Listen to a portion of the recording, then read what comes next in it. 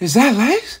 That sure steady. Let's get it. Whenever I want to lay away or deposit, my daddy say, when you see close, close your eyes, Liz. Did you realize that you was a champion and there? Uh, yo, listen.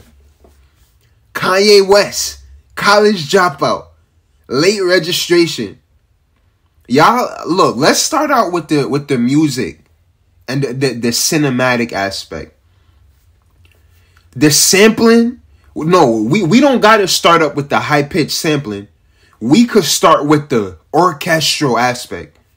When we talking about on late registration, where Ye added the orchestration and mixed it with with hip hop, right? Wait, so hold up, y'all, hold up. We we gotta paint the picture. This 2003, y'all know 50 Cent, my favorite rapper. We had 50 dominating the hip hop for like five years straight 50 G Unit. Then a Lil Wayne modifies 50 Cent's mixtape formula, right? Jay Z says that, right? He around this time, Jay Z said he's gonna retire.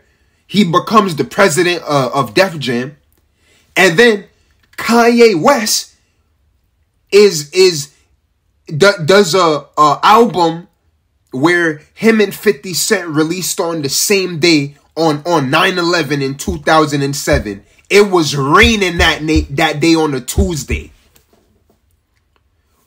Yo, y'all, where do y'all want to begin? It's so epic. Like, y'all, it is so intricate. That's why I said, where do we begin? Around this time, Let's go to 2005, 2006. Wayne Wayne is just beginning the mixtape run, right? 50 dropped the Massacre album and went plat- platinum the first week again. Now, at this time, when we're talking about Ye, Ye started out with that universal appeal. So I'm gonna be honest with y'all. Kanye West, Ye, been an been an anomaly since he came out. And on top of that, he was producing, setting the trend. All of the hottest producers were sounding like him. And when he dropped through the wire, he was rapping with them. And some of his beats began to chart.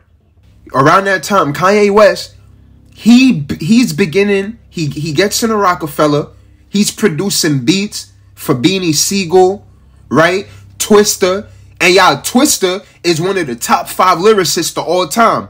That Kamikaze album is one of the is a classic to me, right? Ye produced slow jams and overnight celebrity, and he got through the wire, right? And and y'all know college dropout was fire, right? Then two two and a half years after that, he introduces the, the orchestra into the hip hop music and then he sonically shifts the sound while at the same time he's one of the best producers and his second album is a classic. Wait, wait, wait, wait. Hold up, y'all. I'm wildin'. Where do we begin?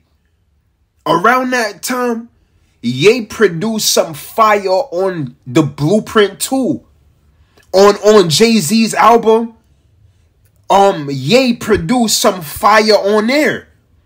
And then he started producing for the other people in the Roc-A-Fella camp, right? Then he dropped his own. So like what I'm trying to tell y'all, the, the high pitch samples, Ye, like I remember listening to beats from um oh my god, their name is slipping me.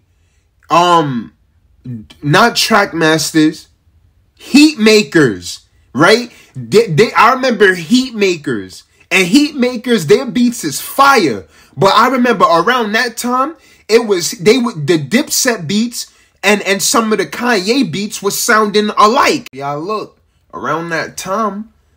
Uh, yeah, he was producing stuff on the Blueprint 2 on Jay Z album, and he was simultaneously making his own fire setting the trend in production and his bars was was fire as well. his lyrics had substance. So when he made All Falls Down, right? Like songs like that, he he attracted a whole different audience. Like even Gold Digger, right? Like I know that there was moms, like like white moms around that time that was singing that song. You like I'm serious. Like, you know, like my, my friends in school and shit. I'm they moms just singing it. I'm like, what? I'm like, yo, you know that song? You know that song? Like, yo, a universal appeal. Ye came out like that. So y'all look, when it comes to this, right, with Ye setting trends, you gotta understand that, yeah, I think there was some um producers that rapped as well, but like when it comes to being a, a mainstream, like top two, top three artist, right? Like Ye was kind of like the, the first to do that. In the in the same sense where like like Drake was the first to to sing and rap and like be the first, even though he probably wasn't the first, but like Ye, the, the way that Ye redefined production and sonics around that time, like I, I don't think there's anybody that that did it that did that like him. You get what I'm saying? Like, and what, what what he did, and then think about it. Even like the college students, right? We got to get on that next because that's something else. You look at Hove, right? Um, Dame, Dame, like people from that fabric, right? That's a different come up from Ye right? Growing up, yeah, he went to China with his mom. You know what I'm saying? Major shout outs to his mom, right? All of our moms, we love y'all always. And he had a diverse experience. But then at the same time, he's making er- hip hop urban beats for rappers and and and and and motherfuckers getting busy in the streets. So that added to somebody that's already very diverse. And even around that time, all the influences that he pulls on from now, like you, you see that's always been there, even then. You might make a beat for a, a, a like a rapper, right? Like a a, a rapper, a, a hip hop straight bars rapper, but they might like the beat. But a lot of the times, you gonna get fire beats when you kind of step outside of of your parameters and you throw in a unique flavor in there. And a lot of the times that might come from um being like culturally diverse. So this is where when you you making music with Ye right and you could just be rapping spitting bars but then you hearing the beat and like even even little things like that are are the small steps that I think Ye eventually ended up taking a great leap in in his stake in shifting culture. It's aesthetics. Now we talking about just music. Do y'all want to talk? Where do we begin? Do y'all want to talk about the style next? Do y'all want to talk about the the the the Louis Vuitton? Because that was the first time that I think Ye made a strong leap in the fashion, right? He did the the loop. Remember, he was gonna drop his own clothing line called Pastelle, right? Then he was gonna do a collab with I think Pharrell and Lupe Fiasco. Then he did the Louis Vuitton collaboration. Then after that, he did the Nike thing. Then after that, he did the the Adidas thing. Then right, and then that's like how he he beautifully built that brand that we call Yeezy today. Oh yeah, yo, seriously, where do y'all want to begin with this? It's so multi-dimensional. Like y'all, y'all know it's Astro Aesthetics. Let's get it. So y'all remember in, in, Stronger when Ye was like, especially in my pastel on my Bape ish, right? Remember that line. So, but then even when he said um um Yeezy jumped over Jumpman or something along those lines, it's like he always kind of put that that tinge in there with him shifting the the the the culture fashion like yo when you like when you talking about even like Bernard Arnault a lot of people ain't know who Bernardo Arnault was prior to Ye mentioning him. Like people like Riccardo Tisci, a lot of people ain't know who these people was prior. And like, yo, these people are titans in their field. But like when I'm, I'm talking about two urban culture, Ye created that bridge. Like, y'all, what about the glow in the dark tour? Remember, um, the glow in the dark tour. That was when he was like the stadium status. Even in the aspect of hip hop performance. Remember, right? We talked about Ye bringing in the orchestration when he did late registration into urban into urban culture. What about when he did the glow in the dark tour and you start getting a different type of production, right? When when it comes to hip hop stage shows. When it comes to adding in the theatrical element to hip hop. Who who who else did it on that level like Ye? To the point where now, if if that's not there, we know something. Yeah, who else? Who else?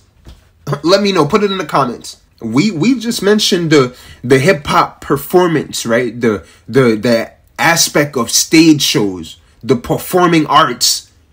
Ye is also instrumental in there. He's instrumental in fashion. He's instrumental in music and not just rapping, right? Even Ye's bars. There's a certain the, the same way that J that Jay-Z bars and even Wayne bars give you a certain type of vibe, Ye also has that same thing where his bars is just like, yo, Nah, that like that. Ye's bars make you kind of redef- redefine and redistort how you perceive things.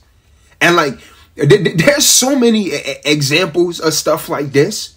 In particular, falling, falling for the love of balling. Got caught with 30 rocks. The cops look like Alec Baldwin. Like, y'all, that verse on Gorgeous, right? On by Ye on My Beautiful Dark Twisted Fantasy that is top three best hip hop rap verses of all time. Like, I'm gonna be honest, like, even the way he dropped that album, y'all remember, like, I, I remember that Saturday or, or that Sunday when that, when the, the, the runaway, um, short film came out. Remember My Beautiful Dark Twisted Fantasy? He dropped that with a cinematic short film Remember where he was chasing the girl? Like, like, yeah, even things like that, you know, and, and y'all see once again, it's that element of like orchestra and like classical arts there. Like, Ye is the innovator in that. All right, let's keep it a bean. Yeah, so, you know, y'all like, this guy is just so multi-dimensional because after all of this, yeah, we we we gotta put in Kid Cudi, we got to put in um Big Sean. We got to put in um all of the, the production and all of the, the things that he was part of after that, right? Um Yeezus, like even even the style of Yeezus, like that all black, right? Like the the raw, distorted Yeezus type of yay. Everybody sounds like that now. As as distorted as that was, that is a whole branch of of Ye within itself, right? Then the the Kim, right? Him and Kim, y'all look. After all of this, right? You know, one thing I think so dope was that song "Swagger Like Us," cause like I think that that I don't know if that's the only song with Wayne, um, Hove, and Ye on it. I I, I think I don't know if Ross got a Maybach music like that, but you, and you know T.I. is on Swagger like us too with the MIA sample, but um, like yo, like that even that song, you know, like what was Swagger like us did for the culture, like y'all, that's New York, Chicago, Atlanta, and the NOLA, right on one fucking worldwide smash. Like yo, hey yo, y'all, I'm gonna say, man, 2007 to 2008 was the golden era hip hop. Around that time, look, in 2007 to 2008, I'm gonna keep it a being. Like culturally, and y'all, y'all can't say that Wayne, Ye, T.I., and Jay Z on one song is is not.